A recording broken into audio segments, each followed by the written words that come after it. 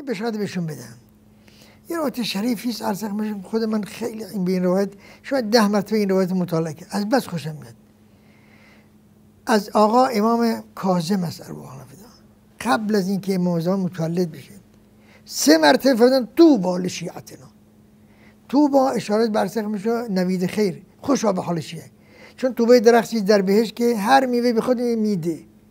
هر نعمت از این درخت اصل این درخت در منظر امیر المؤمنین پیغمبر اکرمه شاخهاش در خونه شیعیانه. تمام اصلا که این درخت هر چی بخواد داده میشه از این درخت.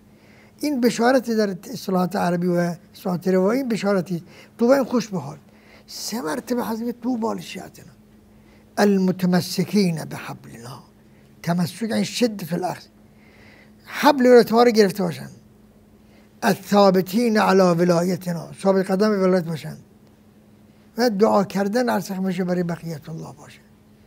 اینهایی که اینجور هستن هم ولایتشون هم برایت از و ثابتن بر دعا کردن آقا بقیت الله اگه اینجور شد حضرت میگه اولئک معنا این جهت بر بنده خیلی قابل توجهه. اولئک اولئک معنا و فی درجاتنا یوم القیامه خیلی حرف هم با اهل بیت هستیم ان هستیم. هم در درجه اهل بیت. بیت در اون فردوس اعلی هستن ما کجا؟ ما کجا؟ ولی با هست فرمایش معصوم و امام است. اولئک معنا فی درجاتنا یوم القیامه یعنی هم جوار از که امیر المومنین هست روز قیامت. هم جوار آقا پیغمبر اکرم هستید. هم جوار امام حسن هم جوار امام زمان هستید. تمسک به حبل اهل بیت. رها نکنید این ریسمان هستیم و ثبوت بر ولایت اهل بیت. ثبوت بر ولایت دعا کردن به امام زمان ثابت قدم کسی که عرض بر حضرت دعا کنه این جهات هست که امیدوارم این روایت شریف بشاراتی باشه برای شما که در درجات دنیاتون آباد آخرتتون آباد. با اهل بیت مشهور باشید. و دعای امام زمان شاملتون بشه انشالله بنده با روسیه خودم خواهم شما دعا کرد. نه دعای بندی روسیا دعای خود امام زمان در اون توقیه شریف حضرت داره که انا لا ننساکم من الدعا.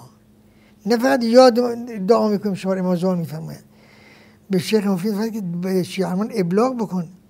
انا لا ننساکم من الدعا یادمون نمیره از دعا کرد نه فقط دعا می‌کنیم. یادمون نمیره دعا کردن برای شما.